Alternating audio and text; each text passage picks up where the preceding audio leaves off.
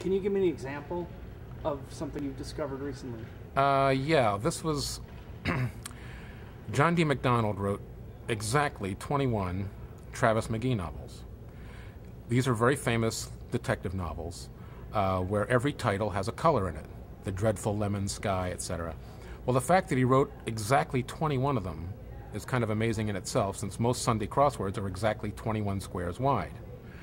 However, when I first started looking at this and I, I tried to make a puzzle out of all the titles, I could never get it to work. So I just took the colors out individually lemon, cinnamon, gray, whatever they, whatever that, what all, there's 21 colors.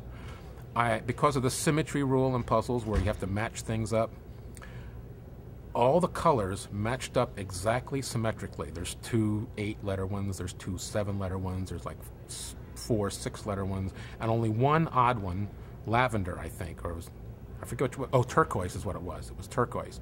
Turquoise is nine letters, went right in the middle. Not only could I put all these colors in this puzzle in a symmetrical way, but you could stack them the whole distance as if it were a trail.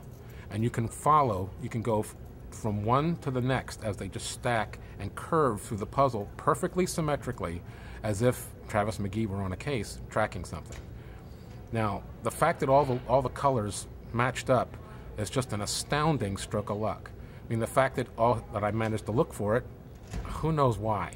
But there it was to do. I, don't, I have no idea why I did this, but it turned out to be superb.